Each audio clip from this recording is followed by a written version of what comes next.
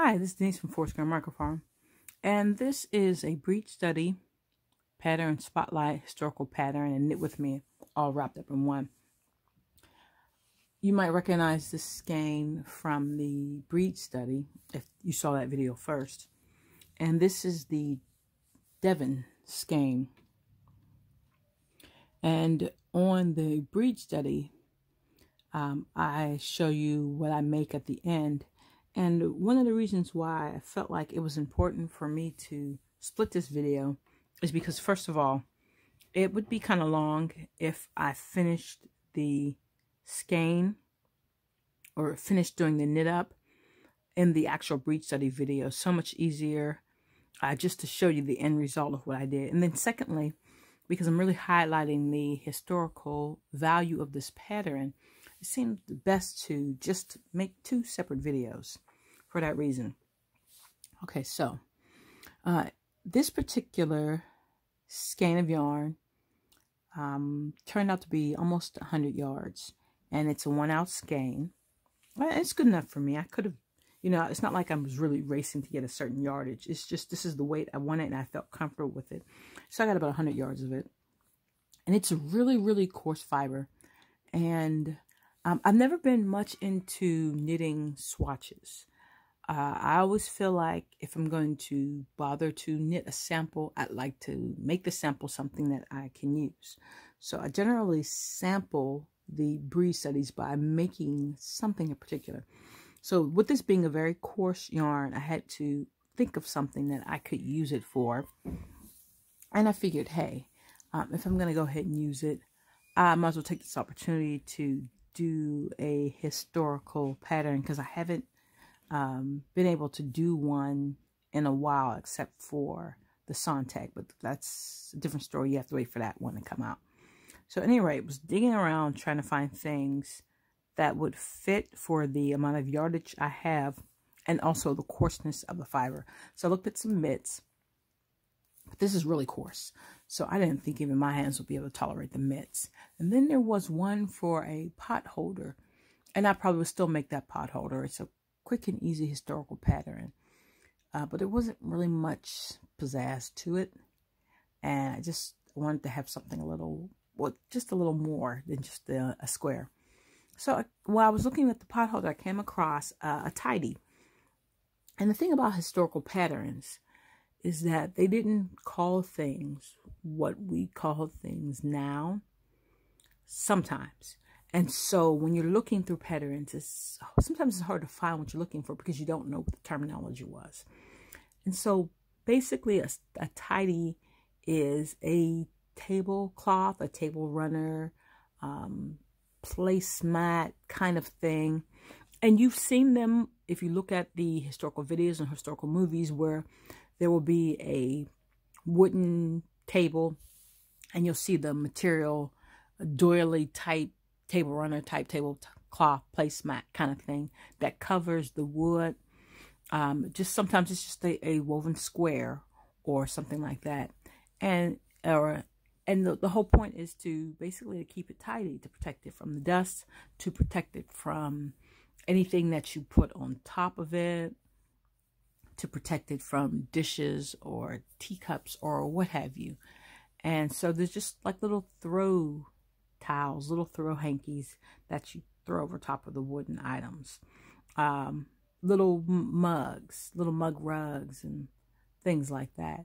And I, I don't know if a lot of people still do that kind of thing. I know that I do, and we do in my house in the church because we have a lot of uh, antique wood pieces and they need to be protected from vases or whatever it is we're sitting on top of them. So I decided I want to make one of those. And I was digging through the patterns, trying to find the tidy, and I found one uh, in a book. It's one of the Workwoman's books. And I believe that particular book, uh, let me see. I have it down somewhere. It's from 1891. That's what it is. It's actually, the book is called Homework. Uh, it's from 1891. That's where it is. And that pattern, you can find it on Ravelry. It's called the Old Fashioned Shell Tidy. Uh, and of course, I went right to it because I love the old shell, uh, feather and fan type patterns. And there is a difference between feather and fan and the old shell patterns. And this one is the old shell.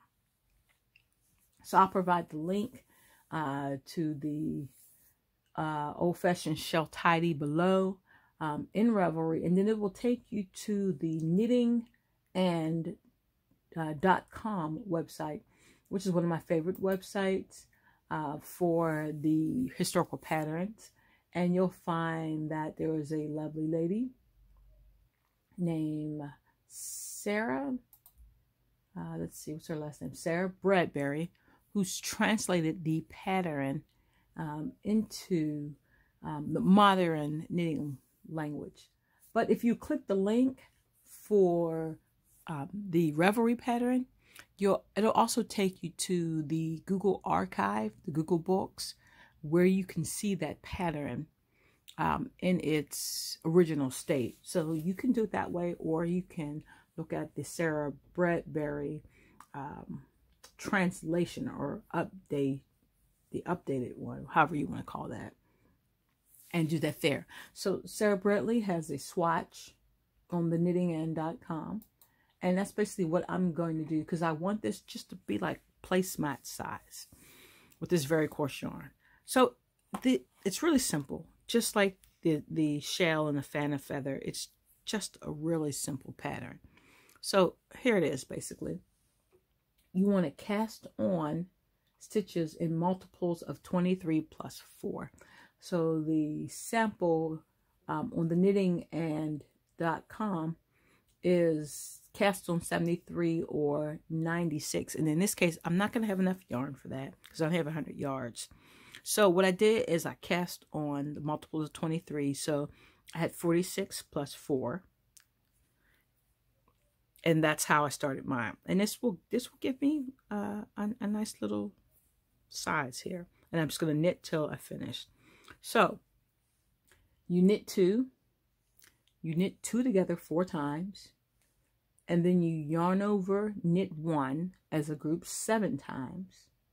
Yarn over, then you knit two together four times. Then you repeat that until you have two stitches left. And then you knit those two stitches. And then the next three rows are purl, knit, purl. And that's all there is to this pattern. Really nice and simple. And this just gives you kind of an idea of how it's working up. If you're familiar with that uh, shell pattern, then you'll have an idea. So I'm going to go ahead and knit this up and so you can see it and then I'll block it. And that's basically it for that entire pattern.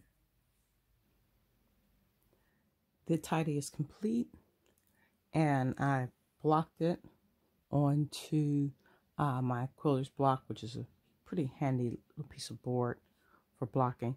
And I had about two feet to spare turned out really nicely. I put this sample inside my book.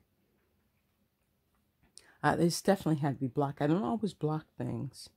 Actually, I don't block most things. Uh, not like quite like this. But this guy really needed to be blocked pretty badly. And it otherwise it just you really wouldn't get to see the pattern for the the shell. Okay, this this was basically pretty simple. So if you, you need a little uh, historical knit fix, uh, this is a really great pattern. And it's a really great pattern for a sample. As I said, I only used an ounce um, of Devon when I spun this. So, and I'm really big on making small samples go a really long way. That's it for this pattern. Uh, you can follow the link below to the pattern on Ravelry, which will take you to the updated pattern. And also it will take you to the historical pattern that is in the archives. So if you want to download that entire book of historical patterns, you can do so. Thank you very much for watching. I also follow the link to the actual Devon breed study so you can see how I started out. If you're a subscriber, thank you for watching. If you're not, go ahead and subscribe and click the like button. Have a great day.